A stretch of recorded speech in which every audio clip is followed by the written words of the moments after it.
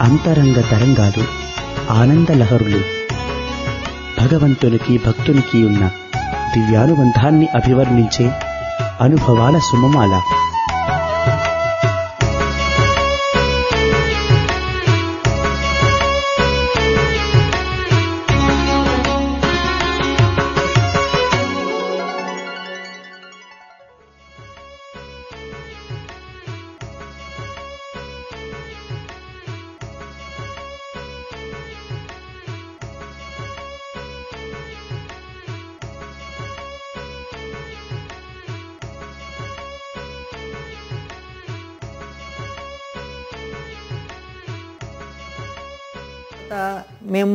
పుట్టపర్తికి తరచూ వెళ్ళేవాళ్ళం. పుట్టపర్తి విశేషాలు కొన్ని చెప్తాను నేను. పుట్టపర్తిలో బేసిక్గా సిక్స్టీ త్రీ నుంచి ప్రశాంతి విద్వాన్ మహాసభలు జరగడం మొదలుపెట్టాయి. అందులో అనువాదకులు మా నాన్నగారే ఉండేవారు. మొట్టమొదటి యజ్ఞంలో కూడా నేను స్వామితో బా దగ్గరలో కూర్చొని అందరూ వక్తలను అందరినీ పండిత ప్రకాండులందరినీ విన్- వినే భాగ్యం కలిగింది సూర్యప్రకాష్ శాస్త్రి రేమిళ్ళ సూర్యప్రకాష్ శాస్త్రి కామావధానులు ఈయన కుప్ప బైరాగ్ శాస్త్రి వీళ్ళంతా మీరు పేరు వారణాసి సుబ్రహ్మణ్య శాస్త్రి వీళ్ళంతా. ఆ యజ్ఞం జరిగాక యజ్ఞ పురుషుడి ఇది అయ్యే దాంట్లో నవరత్నాలు సృష్టించి వేయడం పూర్ణాహుతి అప్పుడు. ఆ తర్వాత ఆ యజ్ఞ గుండంలోంచి వచ్చిన ఆ, యజ్ఞ గుండంకి అర్పించినటువంటి తీర్థాన్ని అందరి మీద ప్రోక్షించడం అవన్నీ. ఆ తర్వాత జరిగిన చాలా మటుకు దసరాల్లో విజయదశమి రోజు ఆ భాగ్యం కలిగిందనమాట నాకు. తర్వాత ప్రశాంతి నిలయం నాటకాలు జరిగేవి దసరాల సమయాల్లో. ఆ విషయాలు మీకు అప్పుడు ఊహ తెలిసినప్పుడు. అప్పటికి ఊహ తెలిసిపోయింది. పదేళ్ళు దాటింది కదా? ఊహ తెలిసిపోయింది. ఏంటంటే స్వామి స్వయంగా వేద పాఠశాల కూడా మొదలుపెట్టారు అప్పుడే. Sixty four sixty five. వేద పాఠశాల ఇనాగ్రేషన్కి నాన్నగారిని పిలిచారు. స్వామి చేశారు కానీ పిలిచారు. ముఖ్య అతిథిగా ఆయన ఉపన్యాసం ఆయన సందేశం ఇచ్చారు. ఆ తర్వాత దీని పర్యవేక్షకులుగా అంటే ప్రధానో ప్రధానోపాధ్యాయుడిగా కామావధానులు అప్పటికి కామావధానులు వచ్చారు. యజ్ఞానికి కానీ స్వామి మీద పరిపూర్ణమైన భక్తి లేదు. ఎక్స్ప్లోర్ చేద్దామని వచ్చారు. ఆ తర్వాత స్థిరపడిపోయారు. ఆయన వేద పాఠశాలకి ప్రధాన ఉండిపోయారు అక్కడ. మహామహోపాధ్యాయుడిగా ఉండిపోయారు. సార్ ఇప్పుడు ఆ ఏజ్లో మీరు స్వామి దగ్గరికి తరచూ వెళ్ళేవారు కదా వేద పాఠశాలలో జాయిన్ అవ్వాలని మీకు అనిపించలేదా? ఎప్పుడు అడగలేదా స్వామిని? లేదండి. కానీ నాకు వేదం అంటే ఇంట్రెస్ట్ ఉండేది. వాళ్ళు త్రిజటలో చదివేవారు. ఇప్పుడు స్టూడెంట్స్ టైం లేక రుద్రం మీకు ఏక జటలో చదువుతున్నారు ఆ- రోజుల్లో రుద్రం వేద పా వేద పాఠశాల విద్యార్థులు వచ్చి చదివేవారు భజన హాల్లో. అంటే భజన హాల్లో సాయి కుల్వంత్ హాల్లో కేవలం దర్శనమే. భజన హాల్లో. వాళ్ళు త్రిజటలో చదివేవారు. అంత సమయం ఉండేది. వేదమే ఒక గంట గంటన్నర ఉండేది. అంటే రుద్రము నమకము చమకు ఈ మహాన్యాసపూర్వక రుద్రం. ఇప్పుడు సమయం లేక స్టూడెంట్స్ అంటే అనుస్వారంతో చదువుతున్నారు కానీ ఏకంగా చదువుతున్నారు కదా? అంటే నమస్తే రుద్రమన్యవ ఉతోత ఇషవే నమ. అది అట్లుండదు. నమస్తే రుద్రమన్యవ నమస్తే రుద్రమన్యవ ఉతోత నమస్తే రుద్రమన్యవ ఉతోత ఇషవే ఉతోత ఇషవే నమ ఇది అట్లా అలా సాగుతుంటుంది త్రిజటలో. ఆ విధంగా చదివేవారు. నాకు ఆనందం వేసేది కానీ నాకు అనిపించలేదు. పంతొమ్మిది వందల అరవై నాలుగులో స్వామే సజెస్ట్ చేశారు ఇంకా బాబు ఉపనయనం చేద్దామని అంటే ఎక్కడ చేయాలి స్వామి? ఇక్కడే చే పుట్టపర్తిలో చేద్దామంటే లేదు తిరుమలలో చేద్దామని. తిరుమలలో ఫిబ్రవరిలో చేశారు. స్వామి ముహూర్తం to తిరుమల చెప్తారా? ఆ ట్రిప్ టు తిరుమల ఏంటంటే నాన్నగారు స్వామితో వచ్చారు వెళ్ళి బెంగళూరు నుంచి. మేమంతా బస్సుల్లో హైదరాబాద్ నుంచి బయలుదేరి తిరుమలకి వెళ్ళాం. కా గెస్ట్ హౌస్ ఆల్రెడీ బుక్ అయిపోయింది పద్మావతి విఐపి గెస్ట్ హౌస్. ఆ గెస్ట్ హౌస్లోనే ఒక ఒక మంటపంలో స్వామి చెప్పిన ముహూర్తానికి జరిగింది. గాయత్రి మంత్రోపదేశం స్వామి ఫస్ట్ చేశారు ఆ తర్వాత మా నాన్నగారు చేశారు నాకు. ఆ తర్వాత తీసుకొని తిరుమల గర్భగుడిలోకి వెళ్ళి వెంకటేశ్వర స్వామి దర్శనం కూడా అయింది. నాకు అక్షరాభ్యాసం సంగతి చెప్పాను కదా పలక అది ఇచ్చారని. సో నా విద్యాభ్యాసం హైదరాబాద్లోనే స్కూల్స్లో జరిగింది లిటిల్ ఫ్లవర్ స్కూల్ అని హ్యాబిట్స్లో ఉంది అందులో. ఆ తర్వాత మా నాన్నగారి మరణానంతరం సిక్స్టీ సెవెన్లో వారు పరమపదించాక అరవై తొమ్మిదిలో తెలంగాణ ఉద్యమం వచ్చింది. నేను అప్పటికి ట్వెల్త్ క్లాస్ ఎగ్జామ్ రాసేసాను ఇక్కడ. కానీ రిజల్ట్స్ వచ్చే పరిస్థితి లేదు. ఎందుకంటే యూనివర్సిటీ బోర్డ్ ఆఫ్ ఇంటర్మీడియట్ లేదు అప్పుడు బోర్డ్ ఆఫ్ మల్టీపర్పస్ అనేవాళ్ళు. ఇంటర్మీడియట్ నెక్స్ట్ ఇయర్ నుంచి స్టార్ట్ అయింది. అవన్నీ క్లోజ్ అజిటేషన్ వల్ల. స్వామి అన్నారు ఇక్కడ చదువు సాగదు ఇంకా తర్వాత రివైవ్ అయినా కూడా ప్రతి సంవత్సరం ఏదో గొడవ ఉంటుంది. బెంగళూరుకి మూవ్ అయిపోమన్నారు. సో బెంగళూరుకి మూవ్ అయిపోయి నేను డైరెక్ట్ డిగ్రీలో చేరిపోయాను. Based on eleventh class. అంటే ఇక్కడ eleventh class equal to PUC there నాకు డబల్ ప్రమోషన్ వచ్చింది కాబట్టి. సో చేరిపోయి నేను అక్కడ స్వామి రెండు మూడు కాలేజీల్లో సెయింట్ జోసెఫ్స్ కాలేజ్ అని సెలెక్ట్ చేశారు. స్వామి చెప్పినట్టు అదే కాలేజీలో నాకు అడ్మిషన్ వచ్చింది. అక్కడ బీఎస్సీ ఫిజిక్స్ ఆనర్స్ చేశాను. ఆ తర్వాత మా ఇంట్లో ఉండగానే చెప్పారనమాట బెంగళూరు నువ్వు నాకేంటంటే ఈ ట్వెల్త్ అయినాక ఐఐటి ఎంట్రన్స్ ఎగ్జామ్ రాశాను నేను.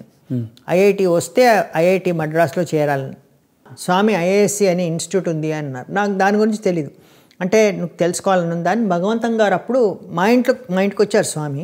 భగవంతం గారిని రమ్మన్నారు. ఆయన బయట వెయిట్ చేస్తున్నారు. రమ్మని చెప్పు నన్నే పిలిపించారు. నేను ఆయన లోపల రమ్మన్నాను. లోపలికి వస్తే భగవంతం ఐఏఎస్సి గురించి చెప్పు అంటే అది టాప్ రీసెర్చ్ ఇన్స్టిట్యూట్ ఇంజనీరింగ్ ఉంది అందులో కూడా బీఈ ఉంది. బీఎస్సీ ఆనర్స్ చేస్తే బీఈ చేయొచ్చు మూడేళ్ళ బీఈ ఆ తర్వాత మాస్టర్స్ కూడా చేయొచ్చు. అది ఐఐటీస్ కంటే గొప్ప అన్నారు. అంటే నేను అదే చెప్తున్నాను బాబుకు అది చేయమని అంటే అది చాలా కష్టం స్వామి అందులో రావడం అన్నారు భగవంతం. అని భగవంతం గారు. ఆయన డైరెక్టర్. ఆ సంగతి నీకెందుకు నేను చూసుకుంటానన్నారు స్వామి. స్వామి అనుగ్రహం. అక్కడే చేశాను నేను. అయితే బెంగళూరుకి వచ్చాను. BSc honours Saint Joseph's college Swami suggest చేసిన కాలేజీలోనే చేశాను. వైట్ ఫీల్డ్కి తరచూ వెళ్ళేవాడిని అక్కడ ఐఏఎస్సి ప్రొఫెసర్స్ అందరూ స్వామి భక్తులు. ఫిజిక్స్ మ్యాథ్స్ ఇదంతా. ప్రొఫెసర్ గంగూలీ పిసి గంగూలీ అని న్యూక్లియర్ ఫిజిక్స్ డిపార్ట్మెంట్కి ప్ర head of the department professor ఆయన స్వామి డివోటి. ఆయన బేసికలీ ఫిజిక్స్లో చాలా దిట్ట అన్నమాట సివి రామన్కి శిష్యుడు ఆయన. ఆయనకి ఏం చెప్పారంటే ఇతను ఐఏఎస్సి ఎంట్రన్స్ రాయాలంటే ఇంజనీరింగ్ ఎంట్రన్స్ ఫిజిక్స్ ఓరియంటెడ్ ఉంటుంది అది. మ్యాథమెటిక్స్ కంటే కూడా ఫిజిక్స్ ఓరియంటెడ్ ఉంటుంది. ఫిజిక్స్ ఆనర్స్ చేసిన వాళ్ళకు. ఇతనికి ఫిజిక్స్ ఫండమెంటల్స్ నువ్వు బాగా ట్యూషన్ చెప్పాలి. అతని కొడుకు సోమనాథ్ గంగూలీ అని నా నా అతను కూడా ఐఏ నాతో పాటు ఐఏఎస్సి ఎంట్రన్స్ క్లియర్ చేసి బీఈలో క్లాస్మేట్. కానీ అతను స్వామి డివోటీయే నీ కొడుక్కి ఎట్లా చెప్తున్నావో బా ఇతను కూడా చెప్పాలి ఇతను నా డివోటీ స్పెషల్ డివోటీ అని ప్రతి శనివారం అతని దగ్గరికి వెళ్ళేవాడిని. అతను నాకు రెండు గంటలు ట్యూషన్ చెప్పేవాడు. Physics concepts. ఆ విధంగా నాకు ఫిజిక్స్ కాన్సెప్ట్స్ బాగా అర్థమయ్యాయి. స్వామి అంత care తీసుకున్నారనమాట he prepared me for the entrance how I could do that and I cleared the entrance with Swami's grace and ఐఏఎస్లో చేరడం ఆ తర్వాత నాకు ఒక రక్ష తీసిచ్చారు ఐఏఎస్లో చేరాక. నేను చెప్పాను కదా బాగా చదువుకో బుద్ధిగా మాస్టర్స్ కూడా చేయి అన్నారు. బీఈ చేశాను తర్వాత మాస్టర్ కంప్యూటర్ సైన్స్ చేశాను ఐఏఎస్లో డెబ్బై తొమ్మిది. అది విద్యా విషయం అన్నమాట. అరవై ఐదులో నా ఉపనయనమైన సంవత్సరం తర్వాత మా నాన్నగారికి మొట్టమొదటి ఒక స్ట్రోక్ వచ్చింది. ఆయన హై హైలీ డయాబెటిక్. బ డయాబెటిక్ ఉన్నప్పుడు బ్లడ్ ప్రెషర్ లేదు కానీ డయాబెటిక్ ఉన్నప్పుడు కొంచెం కిడ్నీ లాంటి వైటల్ ఆర్గన్స్ మీద ఎఫెక్ట్ ఉంటుంది. హెవీలీ డయాబెటిక్ ఉన్న వాళ్ళకు. ఏజ్ వస్తే ఏజ్ వస్తున్నా ఉంది దానివల్ల బ్లడ్ బ్రెయిన్కి కొంచెం బ్లడ్ వెళ్ళడం తగ్గి స్ట్రోక్ వచ్చింది. దాన్ని స్వామి వచ్చి చూశారు చూసి ఆయనకు విభూతి అది ఇచ్చారు రికవర్ అయ్యారు ఆయన. కానీ జాగ్రత్తగా ఉండమన్నారు స్వామి ఎక్కువ స్ట్రెయిన్ తీసుకోవద్దు అని ఒక సార్ట్ ఆఫ్ వార్నింగ్ ఇచ్చారు. సిక్స్టీ సెవెన్లో ఆయనకు మళ్ళా స్ట్రోక్ వచ్చింది. ఈసారి స్ట్రోక్ వచ్చినప్పుడు చెయ్యి లెఫ్ట్ ఆర్మ్ పడిపోయింది. అంటే పక్షవాతం అని అనలేము కానీ ల్యాక్ ఆఫ్ బ్లడ్ ఫ్లో అన్నమాట. తర్వాత కాంప్లికేషన్స్ రావడం మొదలుపెట్టాయి. Three weeks he was on bed సెప్టెంబర్లో మంత్ ఆఫ్ సెప్టెంబర్ స్వామి రెండుసార్లు ఫిజికల్గా వచ్చారు. ట్రంక్ కాల్ చేసి చెప్పేవారు నేను రేపు వస్తున్నాను చూడడానికని. కూర్చొని గంటలు మాట్లాడేవారు విభూతి అది ఇచ్చేవారు. మూడోసారి మా నాన్నగారే అన్నారు స్వామి రేపు వస్తున్నారు రాత్రి అని. అంటే ఇది సెప్టెంబర్ పద్నాలుగు పొద్దున. ఇవాళ మధ్యరాత్రి వస్తున్నారు స్వామి అని. మధ్యరాత్రి రారే స్వామి మామూలుగా పొద్దున వస్తారు. రేపు పొద్దున వస్తున్నారా? ట్రంకాలు ఏమన్నా వచ్చిందా? మేము ఎవరో రిసీవ్ చేసుకోలేదే అంది అమ్మ. ఎందుకంటే నాన్నగారు ఆల్రెడీ బెడ్ మీద ఉన్నారు. ఆయనకు బెడ్ ప్యాన్ పెట్టారు. డ్రిప్ ఇస్తున్నారు. లేదు నాకు విజన్లో వచ్చి చెప్పారు. నేను స్వామిని ఒక విజన్లో కనిపించమని కోరుకున్నాను. ఆ విజన్లో వస్తారు. ఆ సమయంలో మీరు ఎవ్వరూ ఉండకూడదని కూడా చెప్పారు. నన్ను చెప్పమన్నారు.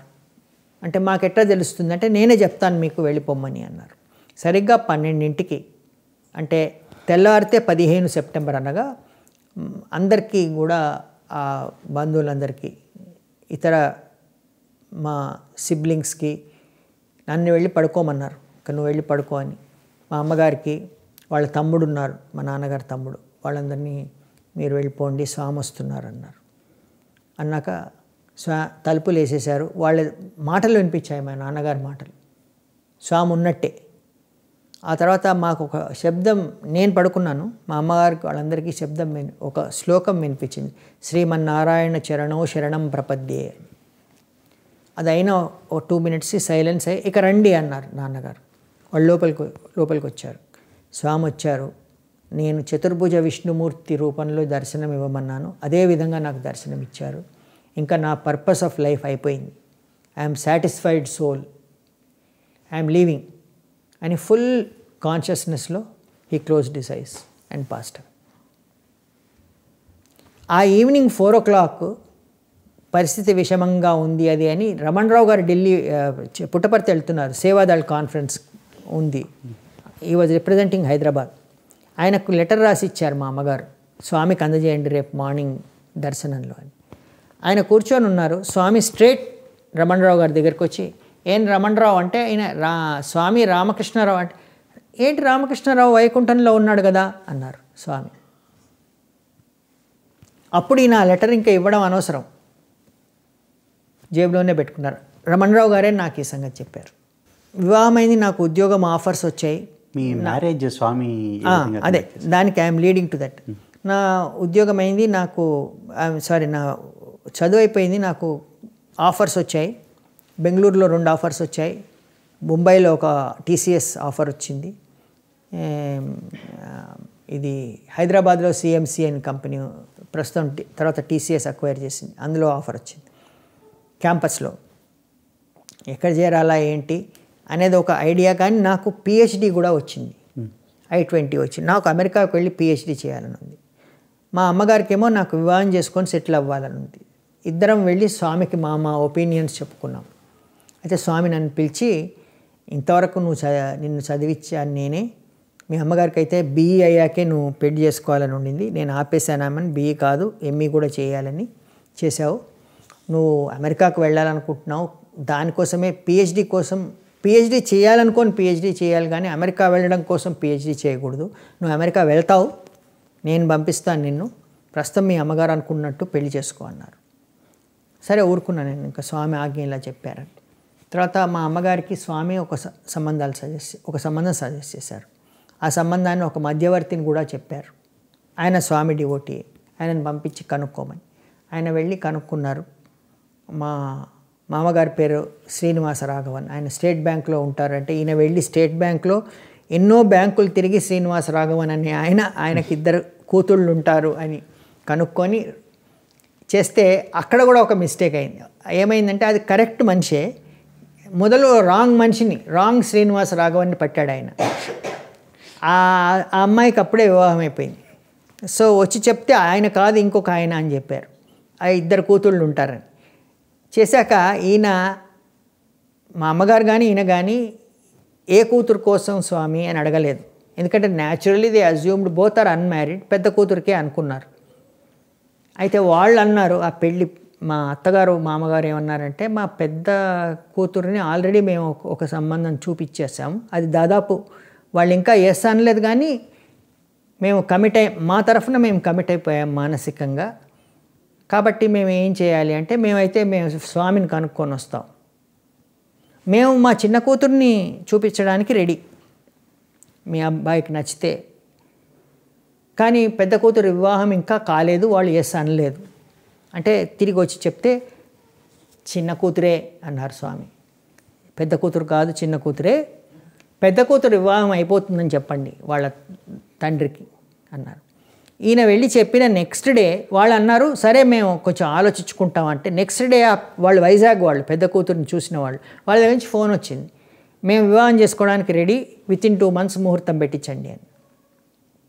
అప్పుడు వాళ్ళు వాళ్ళు ఫోన్ చేసి చెప్పారు. అప్పుడు నేను ఇంకా బెంగళూరులోనే ఉన్నాను ఇండియన్ ఇన్స్టిట్యూట్ ఆఫ్ సైన్స్లో. స్వామి వెళ్ళి చూసా అమ్మాయిని చూసిరా అన్నారు. అంటే మా అమ్మని చూడడం ఎందుకు స్వామి మీరు నిర్ణయించారు కదా అంటే లేదు బాబు చూడాలి అన్నారు. నేను వెళ్ళాను చూశాను మా వివాహం అయిపోయింది. ఐ మీన్ మా పెళ్ళి చూపులు అయిపోయాయి. స్వామి అన్నారు వాళ్ళని పిలిపించి నేను ముహూర్తం పెడతానన్నారు. వాళ్ళు వచ్చారు.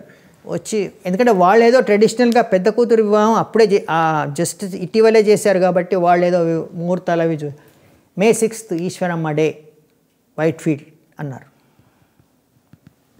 ముహూర్తం కూడా చెప్పారు. మేమేం ప్రిపరేషన్స్ చేయాలి స్వామి అంటే మీరు పుట్టపర్తికి రండి నేను ఇప్పుడు పుట్టపర్తికి వెళ్తున్నాను. ఇది డిసెంబర్ జనవరి జనవరి ఆ ఇయర్ నేను పుట్టపర్తికి వెళ్తున్నాను. మళ్ళీ నేను తిరిగి రావాలి. ఈశ్వరమ్మ డే ప్లస్ బుద్ధ పూర్ణిమ ఇంకా సమ్మర్ కోర్సెస్ అన్నీ ఉన్నాయి వైట్ ఫీల్డ్లో. నేను తిరిగి ఇక్కడ నాలుగు నెలలు ఉంటాను. కాబట్టి మీరు పుట్టపర్తికి వచ్చి కలవండి నన్ను.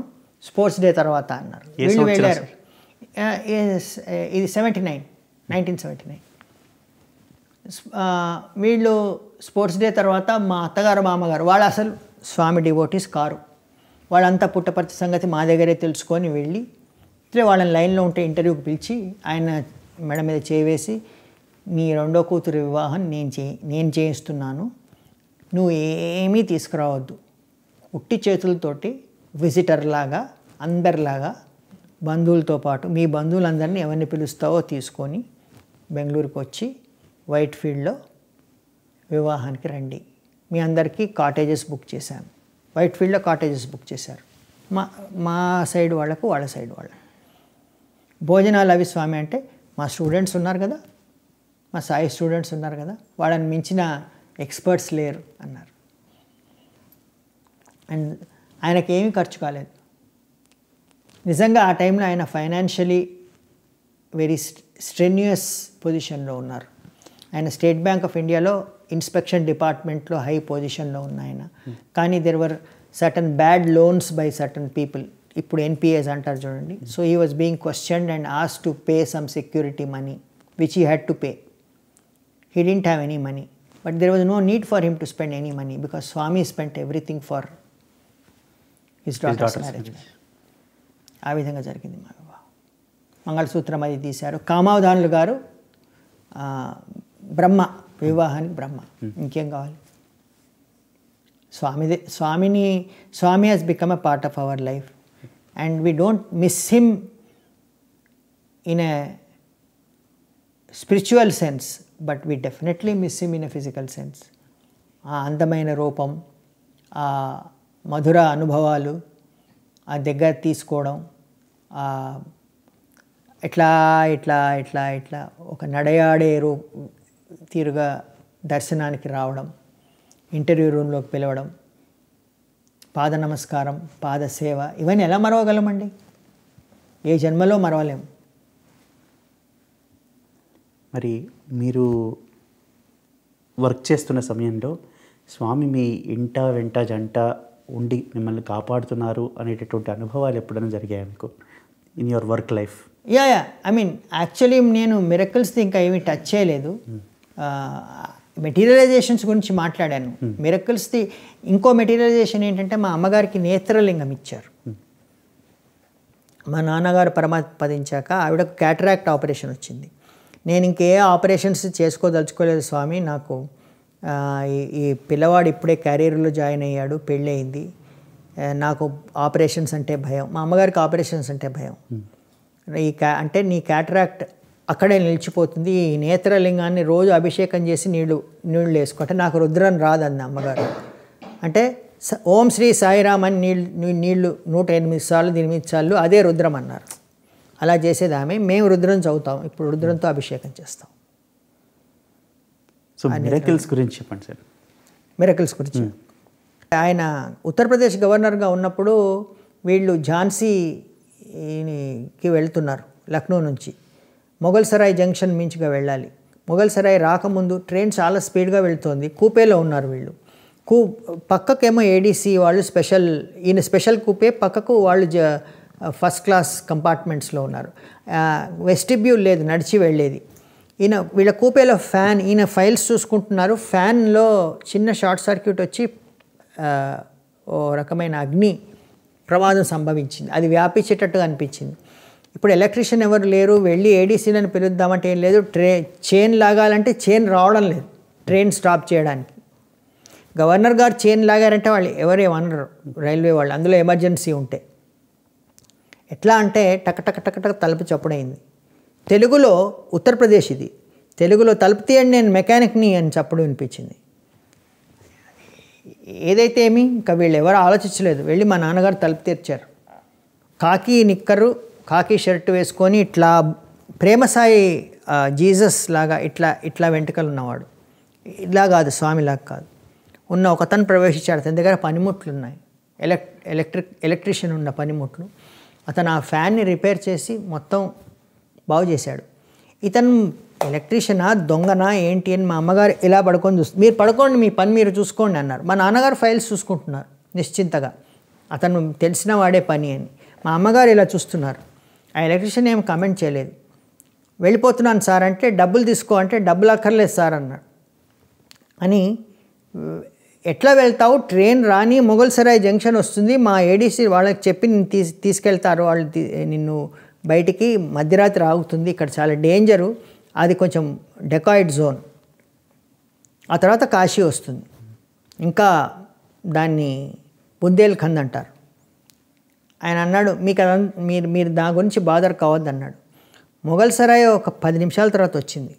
కానీ మా నాన్నగారు ఇంతలోనే ఇతన్ని వెళ్ళి ఉన్నాడా లేడా అని వెళ్ళి చూస్తే లేడు మనిషి. ట్రైన్ ఇంకా చాలా స్పీడ్గా వెళ్తుంది. మనిషే లేడు అసలు. ఆ తర్వాత అక్కడ ఆ ట్రైన్ ఆగగానే అక్కడ కొంత జనాలకు తెలుస్తుంది కదా ఈ కోచ్లో గవర్నర్ ఉన్నాడని అందరు వస్- వస్తారు. ఆగిన క్షణమే. ఇక్కడ నుంచి ఎవరైనా దిగారా? అని అడిగితే ఎవ్వరు దిగలేదు. అయితే తర్వాత ఫోన్ వీళ్ళు మళ్ళా తిరిగి లక్నో చేరుకున్నాక ఫోన్ ట్రంకాల్ చేసి చెప్పారు స్వామికి. అంటే తెలుసు తెలుసు మీ ఆవిడ నన్ను దొంగ అనుకుంది నిద్రపోకుండా కళ్ళు ఇట్లా తెరిచి చూస్తూ ఉండింది నేను దొంగతనం చేయడానికి వచ్చానని అని చెప్పి. రెండో మిరకలు ఏంటంటే గోమతి రివర్కి ఫ్లడ్స్ వచ్చాయి. ఫ్లడ్స్ వస్తే చీఫ్ మినిస్టరు గవర్నరు వీళ్ళు ఫ్లడ్స్ని పర్యవేక్షించాలి కదా. చీఫ్ మినిస్టర్ పర్యవేక్షించాడు గవర్నర్ ఈయన వెళ్ళి నివేదిక పంపాలి సెంటర్కి. ఇంత నష్టం జరిగింది ఇంత ఎయిడ్ కావాలి ఇనిషియల్ ఎయిడ్ ఇంత కావాలి ఇంటరిమ్ ఎయిడ్ అది అంతా అయింది తిరిగి లక్నో రాజ్భవన్ హెలీప్యాడ్లోకి వస్తున్న సమయంలో హెలీప్యాడ్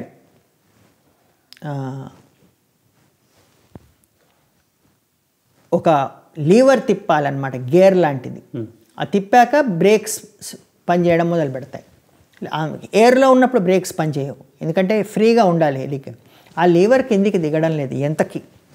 జామ్ అయిపోయింది. సో ఇలా ఇలా ఇలా చక్కర్లు కొడుతోంది. It's circling in air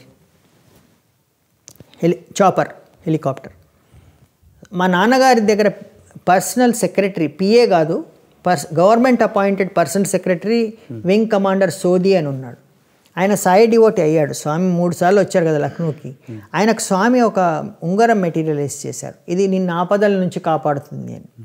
ఆయన కూడా అందులోనే ఉన్నాడు. ఆయనకు ఆపదే అది. ఆయన అన్నారు మా నాన్నగారి దగ్గరకు వచ్చి ఇలా చెప్పారు బాబా నాకు నేను ట్రై చేయనా? అంటే మా నాన్నగారు అన్నారు ట్రై చేయి అన్నారు. ఆయన వెళ్ళి ఆ లీవర్ని ఇలా అనగానే లీవర్ దిగిందండి. ఆ తర్వాత హెలికాప్టర్ ల్యాండ్ అయింది. సేఫ్గా బయటకు వచ్చారు. అప్పుడు ఈ విషయం ఇది జరిగిన విషయం మా నాన్నగారు చెప్పకముందే కస్తూరి గారికి నాకు చెప్పారు. అది ఆయన గాడ్ ఆఫ్ లవ్ అనే బుక్లో రిఫర్ చేశారు. స్వామి చెప్పారండి కస్తూరి గారికి? రామకృష్ణరావు హెలికాప్టర్ అలా చిక్కుకుంది ప్రమాదంలో. నేను రక్షించాను. తర్వాత మా పెద్దబ్బాయి పుట్టినప్పుడు వాడికి by birth itself oxygen తక్కువైపోయి నా వైఫ్కి సిజేరియన్ చేయాల్సి వచ్చింది. వాడికి ఫిట్స్ అవి రావడం మొదలుపెట్టాయి. ఆ ఫిట్స్ ఎంత తీవ్రంగా వచ్చాయంటే బ్రెయిన్ డ్యామేజ్ అయిందన్నారు ఈఈజీ తీసి అలాంటి వాళ్ళు వెరీ స్మా అప్పుడే పుట్టిన బేబీ అయితే త్రీ డేస్ క్రిటికల్ కండిషన్లో ఉంటారు. ప్రాణానికి కూడా గ్యారంటీ లేదు. మేము చాలా ఆందోళన పడి రామబ్రహ్మం గారు అప్పుడు స్వామి వైట్ ఫీల్డ్లో ఉన్నారని తెలుసు. రామబ్రహ్మం గారికి టెలిగ్రామ్ ఇచ్చాం. ఇస్తే ఆయన ట్రంక్ కాల్ చేశారు. ఆయన తెలిసిన డివోటీ ఓల్డ్ డివోటీ. మేము ఎక్కడున్నామో చెప్పాం టెలిగ్రామ్లో. We are in the nursing home అని. చేసి స్వామి ఢిల్లీ వెళ్ళి వెళ్ళారు. ఇవాళ మార్నింగ్ ఫ్లైట్లో ఢిల్లీ ఇందులాల్ షా దగ్గర ఉంటారు నేను చెప్తాను అన్నారు. సరే స్వామి ఢిల్లీ వెళ్తే ఏం చేస్తాం అనుకున్నాం. ఓ హాఫ్ అన్ అవర్లో మాకు కాల్ వచ్చింది. సత్యమూర్తి గారు లైన్లో ఉన్నారు. స్వామి ప్లేన్ హైదరాబాద్ లాగుంది బేగంపేట విమానాశ్రయంలో. మా అమ్మగారిని నన్ను రమ్మన్నారు. ఇద్దరిని ఎయిర్పోర్ట్కి రమ్మన్నారు. మీ మీ బాబు పుట్టాడట మీ మీ అబ్బాయికి బాబు పుట్టాడట అతని విషయం ఎయిర్పోర్ట్కి రమ్మన్నారు. అంటే మేము వెళ్ళాం. వెళ్తే భజన జరుగుతోంది. సేవాదళ వాళ్ళు మమ్మల్ని స్వామి టర్మాక్లో ఉన్నారు ఇలా తిరుగుతూ. ప్లేన్ అలా ఆగి ఉంది అసలు ఆ plane schedule to fly directly from Bengaluru to Delhi Swami request మీద హైదరాబాద్లో ఆగింది. సో దగ్గరికి వచ్చి ప్రసాదం సృష్టించి ఇచ్చారు. ఏమైంది ఏమైంది ఏమైంది అంటే ఇట్లా మా అమ్మగారు చెప్పారు. చెప్పి బాబు కొడుక్కి పుత్ బాబుకు పుత్రభిక్ష పెట్టండి అంటే ఏమీ కాలేదు పుత్రు బాబు పుత్రుడికి అంతా బాగుంది అన్నారు. ఇలా చెప్పారంటే వాళ్ళ బ్రెయినే డ్యామేజ్ అయిందన్నారు స్వామి. డాక్టర్ల బ్రెయినే డ్యామేజ్ అయిందని విభూతి ఇచ్చి మీరు సరదండి తిరిగి వచ్చే టైంకి మా మేనల్లుడు వాళ్ళంతా ఉన్నారు. వాళ్ళు అన్నారు మీరు అటు వెళ్ళారో లేదో మేము వెళ్ళి ఇరవై నిమిషాలకు చేరుకున్నాం. అప్పుడు ఇంత ట్రాఫిక్ లేదు. కాచిగూడలో నర్సింగ్ హోము బేగంపేటలో విమానాశ్రయం. అబ్బాయి క్రిటికల్ కండిషన్ నుంచి ఇప్పుడు క్రానిక్ కండిషన్లోకి వచ్చాడు.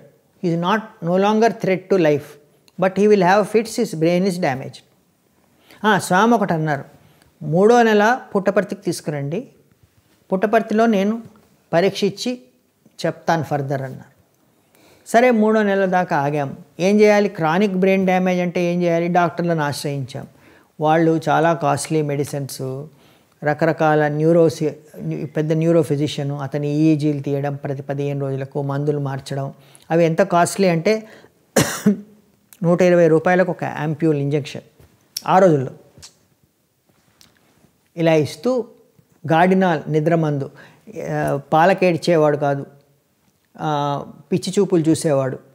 హిస్ బ్రెయిన్ ఈజ్ డ్యామేజ్డ్ బతికిన అతను vegetable existence he will live but because is not in a critical stage but brain is just not functioning it's receiving blood and all that but brain cells are dead అన్నాడు అతను. మేము పుట్టపర్తికి తీసుకెళ్ళాం ఆ- ఆ డయాగ్నోసిస్లో లోపల పిలిచారు స్వామి. వాడికి రక్ష తీసి ఇచ్చారు ఇప్పటికీ ఉంది. విభూతి తీసి తలంతా మర్దన చేశారు. ముందు ఆ డాక్టర్ ఎవడో వాడి రాసిన మందులు ఇంజక్షన్లు అన్నీ ఆపి చెత్తబుట్టలు పడేసేయండి. మీరు మేము మేము దిగిన గెస్ట్ హౌస్లో చెత్తబుట్ట ఉండింది. కమానీస్ గెస్ట్ హౌస్ ఇచ్చారు మాకు. కమానీ గెస్ట్ హౌస్లో పెద్ద చెత్తబుట్ట ఉంది కదా వంటింటి దగ్గర అందులో పడేసేయండి. ఏవీ పెట్టద్దు. ఇంక అయిపోయింది ట్రీట్మెంట్ అన్నారు. ఆ తర్వాత నెక్స్ట్ డే ఎయిట్ ఓ క్లాక్కి ఫిట్స్ స్టార్ట్ కావాలి. నార్మల్ అట్లా అవుతాయి. అప్పుడు ఒక ఇంజక్షన్ ఇవ్వాలి. ఎయిట్కి ఫిట్స్ రాలేదు. ఇంజక్షన్ పడేసాం రాత్రే. ఈవినింగ్ ఇంటర్వ్యూ ఇచ్చారు. రాత్రి పడేసాం. ఎయిట్కి ఫిట్స్ రాలేదు. నైన్ థర్టీకి పాలకు ఏడవడం మొదలుపెట్టాడు. పాలిస్తే తృప్తిగా తాగి పడుకున్నాడు. హో వన్ ఫుల్ డే పీస్ఫుల్గా గడిచింది. సెకండ్ డే ఈవినింగ్ దాకా పీస్ఫుల్గా మళ్ళీ సెకండ్ డే ఇంటర్వ్యూకి పిలిచారు. ఎలా ఉన్నాడు బాబు? అన్నాడు. బాగానే ఉన్నాడు స్వామి. స్వామి రక్ష ఇచ్చి విభూతి పెట్టాక అంతా తగ్గిపోయిందంటే అసలు ఏమీ లేదు తగ్గడానికి అన్నారు. అసలు ఏమీ లేదు తగ్గడానికి ఆ ఆ డాక్టర్కి బ్రెయిన్ డ్యామేజ్ అయింది. ఈజీ తీసిన వాడికి. అంత నార్మల్గానే ఉన్నాడు అన్నారు. చూడండి. మూడు నాలుగు రోజులు ఉన్నాం. స్వామి నామకరణం చేయండి అంటే నేను హైదరాబాద్ వస్తున్నాను. జూన్లో విద్యావిహార్ ఓపెనింగ్ ఉంది. విద్యావిహార్ ఓపెనింగ్కి అప్పుడు విద్యావిహార్ ఓపెనింగ్ ఎక్కడ అంటే మాసప్ ట్యాంక్ కంటే ముందు ఒక బిల్డింగ్ ఉండేది అక్కడ జరిగింది.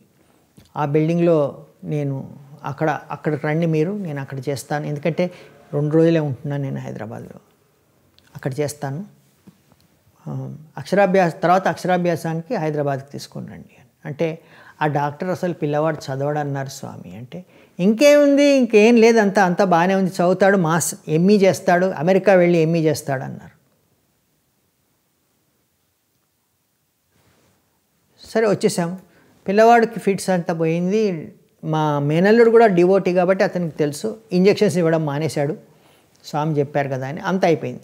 ఈ వీరరాఘవరెడ్డి వీళ్ళు ఎందుకు రావడం లేదు చెకప్కి ఈఈజీకి? అవన్నీ రి రిపోర్ట్స్ తీసుకొని అని పెద్ద పెద్ద డాక్టర్ మా relative doctors non devotee doctors తోటి ఫోన్ చేయించాడు.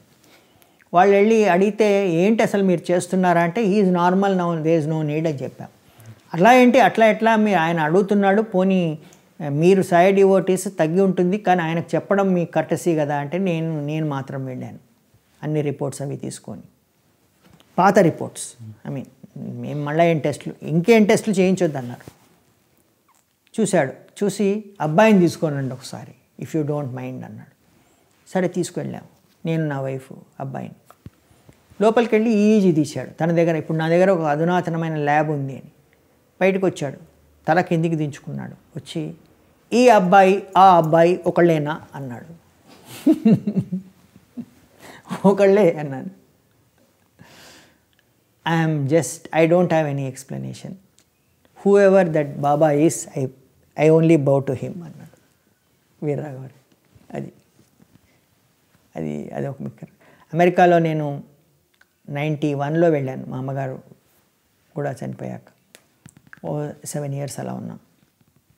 మాకు రెండు గాస్ట్లీ యాక్సిడెంట్స్ అవాయిడ్ అయ్యాయి. అట్లాంటాలో ఒక కార్ని నా కార్ అది నా తప్పే అది వెళ్ళి కుద్దింది. నా కార్కి పెద్ద ఏది కాలేదు. కార్లో కూర్చున్న వాళ్ళకు కూడా పిల్లలిద్దరికి ఏం కాలేదు. నా వైఫ్కి చిన్న స్క్రాచ్ పడింది. అది కుట్లు కూడా పడకుండా తగ్గిపోయింది. కానీ అవతలి కారు ఇలా పల్టీ పల్టీలు కొట్టి పడింది. ఆ కారులో ఉన్న వాళ్ళకి అసలు ఏమీ కాలేదు. వాళ్ళకి ఏదైనా అయ్యి ఉంటే మాకు జైలు శిక్ష పడేది.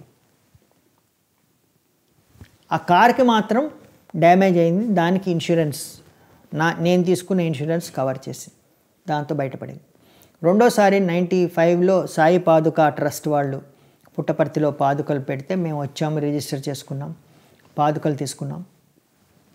తిరిగి వెళ్ళాం. డాలస్లో బ్రహ్మాండమైన భజన. మీరు ప్రకాష్ లమ్మకుమేర తెలుసా? ఆ, డల్లస్ సాయి సెంటర్. ఇప్పుడు వచ్చి శ్రీనగర్ కాలనీలో ఉన్నాడు. ఆయన వాళ్ళ వాళ్ళ ఇంట్లో మేము మా కారు కూడా పెట్టాం తిరిగి వచ్చాడు ఇండియాకు ఇండియాకు వచ్చాం వాళ్ళు మేళ తాళాలతో రిసీవ్ చేసుకున్నారు. రుద్రం అది చెప్పారు. పాదుకలు తీసుకొని మేము ఆస్టిన్కి వెళ్తున్నాం. అప్పుడు ఒక పెద్ద ట్రక్ అది నా తప్పు కాదు నేను వెళ్తున్నాను అది నా లేన్లోకి ప్రవేశించి నాకు తగలబోయింది. అయితే యాక్సిడెంట్ అవాయిడ్ చేయడానికి నేనేం చేశానంటే నార్మలీ పక్క లేన్లోకి వెళ్తారు. నేను రెండు లేన్లు క్రాస్ చేసేసాను ఆ కంగారులో. రెండు లేన్ క్రాస్ చేయడంలో అది కర్బ్లోకి వెళ్ళిపోయింది కార్. టూ వే హైవేలో మధ్యలో కర్బ్ ఉంటుంది గడ్డి ఉండి. ఆ గడ్డిలోకి వెళ్ళిపోయాక గడ్డి మీద కార్ నడవదు కదా? తార్ రోడ్ మీదే నడుస్తుంది టైర్లు. అది జీప్ కాదు హెవీ వెహికల్ కాదు. సో ఆ కార్ ప్రాబ్లం ఇస్తుంటే నేను కార్ని యాక్సిలరేట్ చేయబోయి ఏం చేయాలి? అది ఆటోమేటిక్ గేర్ కార్. స్టీరింగ్ వదిలేశాను. ఆ కార్ గిర్ర గిర్ర గిర్ర తిరుగుతోంది. నా మైండ్ బ్లాంక్ అయిపోయింది. అటు ఇటు ట్రాఫిక్ విపరీతమైన ట్రాఫిక్ వెళ్తోంది. నా వైఫ్ స్వామిని ప్రార్థిస్తోంది. నేనేమో అసలు ఒక రకమైన డేజ్డ్ స్థితిలో ఉన్నాను. ఏ ఆలోచన లేదు. పూర్తి నిర్లిప్తత అంటారు చూడండి. శూన్యత. మనోశూన్యతలో ఉన్నాను. ఆ కార్ తిరిగి తిరిగి తిరిగి తిరిగి తిరిగి నేను ఎటు వెళ్ళాలో ఆస్టిన్ అటువైపు ఆగి ఉంది పోలీసులు రాలేదు. ట్రాఫిక్ ఎవరు చూడలేదు. ఆ తర్వాత నేను కాన్షియస్నెస్లోకి వచ్చి కార్కి ఏమీ కాలేదు. తిరిగి వచ్చి హైవే ఎక్కి కామ్గా ఇంటికి వచ్చాం. ఇవి మెయిన్ మిరకల్స్ స్వామి దగ్గర మీరు నేర్చుకున్నటువంటి మోస్ట్ వాల్యుబుల్ లెసన్స్ ఏంటి సార్? మీరు ఇప్పుడు ప్రిన్సిపల్స్తో లైఫ్ని లీడ్ చేయడానికి కారణం? యా కరెక్ట్ నేను whether I'm leading that or not Swami దగ్గర నేను నేర్చుకున్నది ఏంటంటే animals are as valuable as human beings అంటే స్వామిని చూసి స్వామి దగ్గర సాయి గీత పక్షులు ఆ లేళ్ళు వైట్ ఫీల్డ్లో ముదుములై అక్కడి నుంచి వచ్చిన లేళ్ళు అవి చూసి నేను అంతకుముందు బొద్దింకల్ని చంపేసేవాడిని. నేను బొద్దింకల్ని చంపను ఇప్పుడు.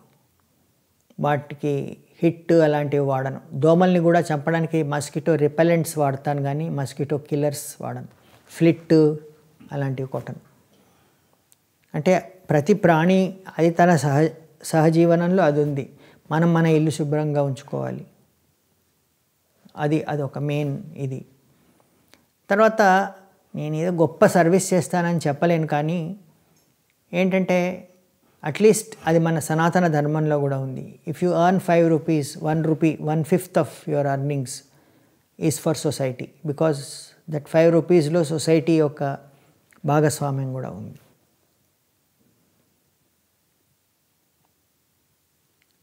మెయిన్ టూ లెర్నింగ్స్ అవి. తర్వాత ఇంకోటి స్పిరిచువల్ దాంట్లో లెర్నింగ్ ఏంటంటే శివకేశవుల్లో భేదం లేదు. నాకు కృష్ణుడు ఇష్టదైవంగా ఉండేవాడు. స్వామి ఫోల్డ్లోకి వచ్చాక శివుడు కూడా ఇష్టదైవం అయ్యాడు శివుడు నేను పది స్వామి దయ వల్ల పది జ్యోతిర్లింగాలు చూశాను. ఇంకా రెండే ఉన్నాయి. ఆ రెండు కూడా చూద్దామనే ఉత్సుకత. తర్వాత శివుడితో నాకైన గొప్ప గొప్ప అనుభవాలు ఉన్నాయి చిదంబరం అరుణాచలం. రుద్రం వల్ల చాలా లాభపడ్డాను నేను. అది చెప్పండి సార్. రుద్రం రోజు చేసుకుంటాను. నాకు అపారమైన నమ్మకం రుద్రం అంటే రుద్రం భద్రం అని. రుద్రం వల్ల నేను చాలా క్రిటికల్ స్టేజెస్లోకి వెళ్ళి ఏమీ ఏదో పెద్దదవుతుంది అనుకున్నది చాలా చిన్నదాంతో తప్పిపోయింది. అది నేను రుద్రం వల్లే అంటే స్వామి గ్రేసే కానీ రుద్రం నేను రుద్రం చెయ్యని రోజు అలా ఉండదు. I get into problems. So నేను మీ నా నాది ఒక ఒక జనరల్ పూజ ఉంటుంది ఒక మ్యాక్సిమం పూజ ఉంటుంది ఒక మినిమం పూజ ఉంటుంది. నా మినిమం పూజలో రుద్రం. గణపతి అధర్వణ శీ- శీర్షం రుద్రం. స్పెసిఫిక్గా మీకు లైక్ వేదం గురించి స్వామి చెప్పినటువంటి గైడ్ లైన్స్ ఏమైనా ఉన్నాయా? వేదం గురించి స్వామి ఏం చెప్పారంటే రుద్రాన్ని మీనింగ్తో చదవాలి. మీనింగ్ తెలుసుకోవాలి ముందు. చాలాసార్లు చదివినప్పుడు. ఆ తర్వాత మామూలుగా పఠనం చేయొచ్చు. కానీ మీనింగ్ లేకుండా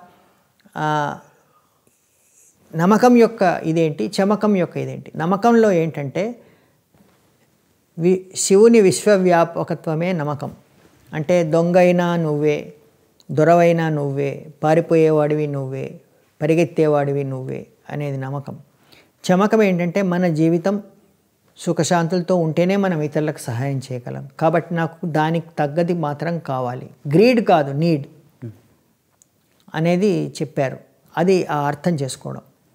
తర్వాత వేదం కంటే నాకు ఎక్కువ స్వామి భారత భాగవతాలు నాకు ఛాన్స్ ఇచ్చింది. నేను సాయి స్టూడెంట్ కాకపోయినా బృందావన్ సమ్మర్ షవర్స్లో ఇది బృందావన్లో జరిగే స్టూడెంట్ సమ్మర్ కోర్స్లో మీరు summer courses from nineteen seventy one to seventy nine. Eight years నేను స్పెషల్ ఇన్వైటీగా కూర్చొని. ఆ సమ్మర్ కోర్సెస్ గురించి చెప్తారు సార్? సమ్మర్ కోర్సెస్ నేను చె- చెప్పేది భాగవతం మీద రామాయణం మీద భారతం మీద. స్వామి చెప్పిన సమ్మర్ కోర్సెస్ విన్నాను. ఏది ఏ రోజు మిస్ కాకుండా. చాలా డీటెయిల్గా స్వామి కృష్ణుడి గురించి అంటే భా భారత భాగవతాలు చెప్పినప్పుడు కృష్ణుడికి అర్జునుడికి ఉన్న స్నేహం. అవంతా ఇంట్రికేట్ డీటెయిల్స్ ఇవి మామూలు వ్యాస భాగవతం కానీ వాటిల్లో అంటే అంత డీప్గా నేను వ్యాస భాగవతం సంస్కృతం నాకు రాదు చదవలేదు కానీ వాటిని అనువదించిన వాళ్ళు ఎవరు రాయలేదు. అర్జునుడి దగ్గరికి కృష్ణుడు వెళ్ళిన కృష్ణుడు అర్జునుడి దగ్గరికి వెళ్ళిన వాళ్ళ బెడ్రూమ్లో పడుకునేవారట వాళ్ళిద్దరు. వాళ్ళ వాళ్ళ స్పౌసెస్ ఉండేవారు కాదట.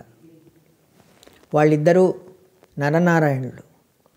వారు ఒకే మంచం మీద పడుకొని వాళ్ళు తినేటప్పుడు కూడా ఒకే కంచం మీద వడ్డించుకునేవారట వడ్డించేవారట.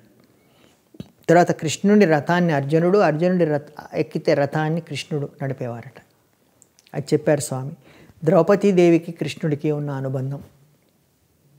ఆమె శరణాగతి అంటే పాండవుల కంటే కూడా ఎక్కువ శరణాగతి పె- పెట్టింది కృష్ణుడి మీద ద్రౌపది.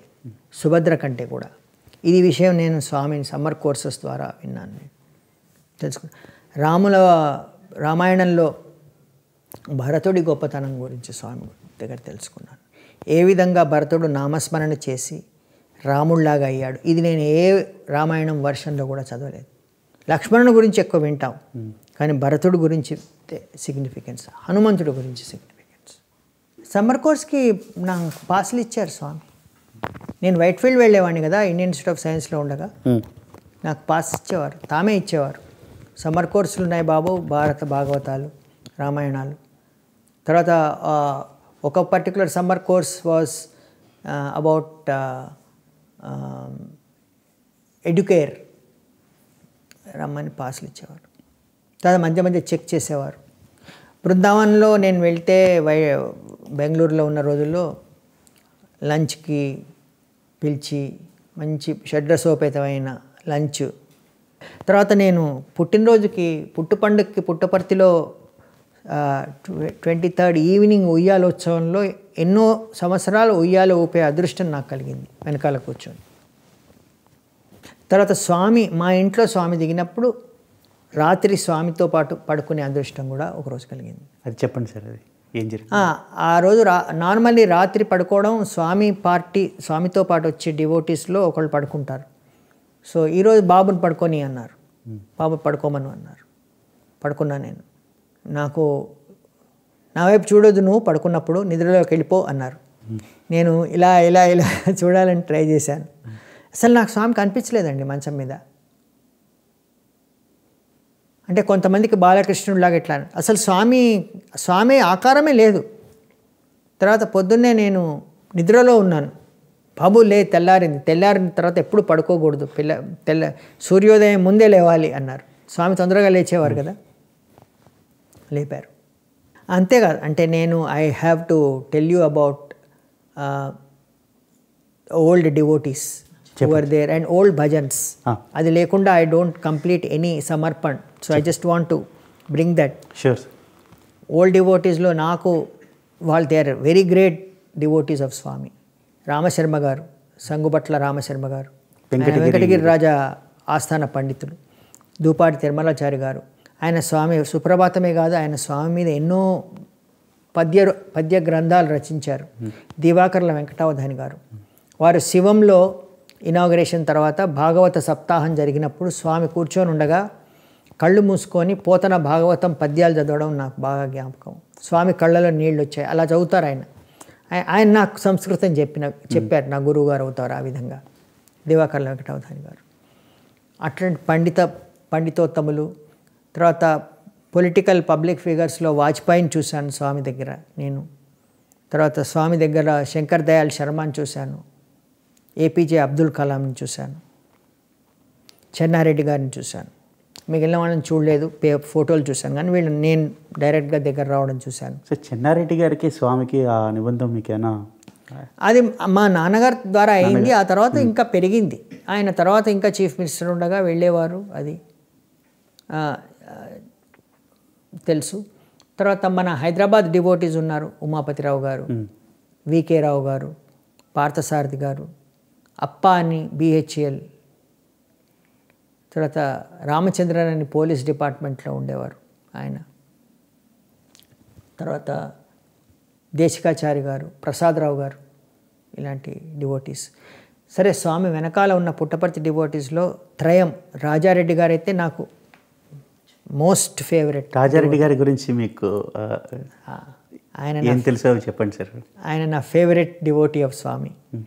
ఆయన ఓ మహాయోగి. ఆయన మాటలే తక్కువ కానీ నాతో చాలా బాగా మాట్లాడేవారు.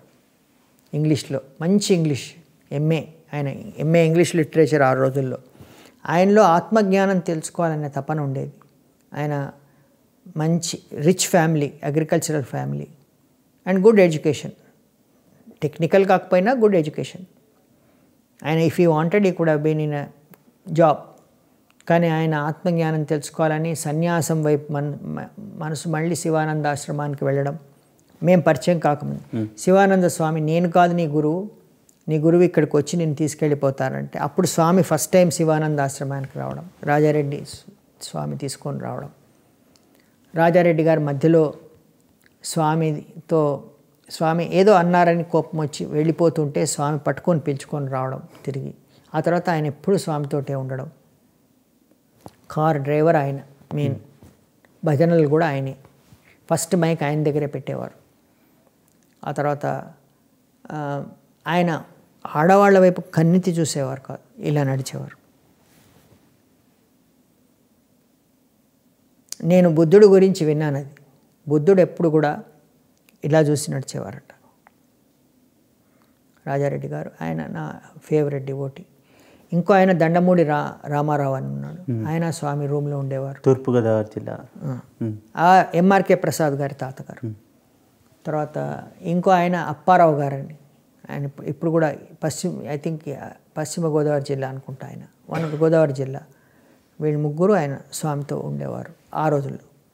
తర్వాత ఒక రెడ్డి గారు ఉండేవారు ఫోటోగ్రాఫర్. ఆయన కూడా చాలా దగ్గర స్వామికి స్నానం కూడా వేసి చేసి చేయించారు.